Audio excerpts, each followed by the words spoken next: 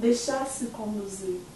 E o que nós iremos falar hoje, o que nós estamos falando agora neste momento, é sobre nós deixarmos ser conduzidos por esse Espírito Santo. É permitir que Deus, Espírito, haja na nossa vida, nas nossas atitudes. É permitir que o Espírito Santo possa conduzir a nossa vida. Espírito Santo, eu não quero continuar a mesma pessoa. E é isso que o Espírito Santo faz na nossa vida. Ele nos conduz ao quê? Ao nada? Ao, ao escuro? Não. O Espírito Santo ele nos conduz a Cristo, que nos leva ao Pai. E esse é o nosso fim último. Esse é o nosso ideal. Esse deve ser o ideal da nossa vida. Buscar o Deus que nós tanto temos sede, que nós tanto precisamos, que nós tanto buscamos. É isso o nosso ideal. É isso que o Espírito Santo nos faz. Ele pega a gente e fala assim, ó filho, olha aqui. Você foi criado para Deus. Sozinho você não vai conseguir. A irmã Vivian não consegue ir sozinho até Deus. Irmã Vivian é impossível, é fraca, é falha. Chegar no meio do caminho ela vai falhar. Então o que o Espírito Santo faz? Te dá aquele empurrãozinho assim, sabe? Te empurra assim e fala, ó, com delicadeza, porque Deus é delicado. Deus ele não exige de nós, Deus ele não, não nos obriga, mas ele é delicado. Então ele com delicadeza ele te dá aquele empurrãozinho e fala, vai até Jesus.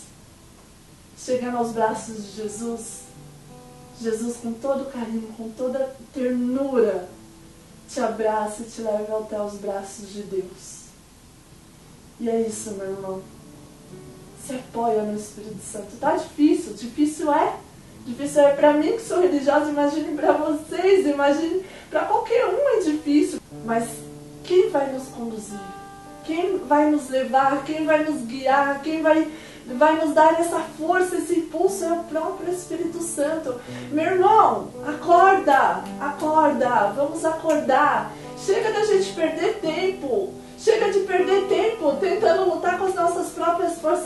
Faça o seu esforço, com certeza. Lute, busque, é, sabe, se entregue totalmente a Deus.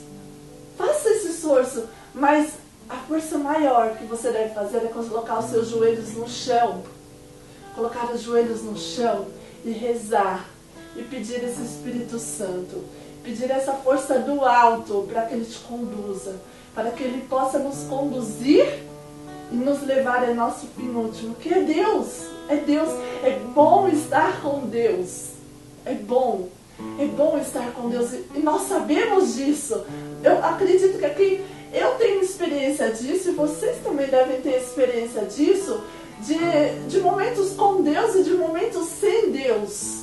Os momentos com Deus são fecundos. São fecundos. Geram frutos geram paz no nosso coração. O Espírito Santo já temos, fomos batizados. E aqueles que não foram, procurem o seu batismo, procurem uma igreja, procurem o batismo.